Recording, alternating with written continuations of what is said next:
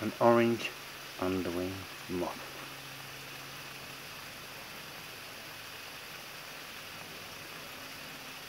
Intricate markings. Seen them before. Never noticed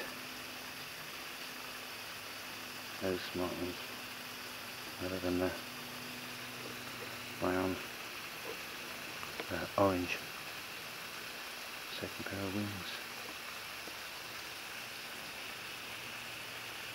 I think I disturbed him.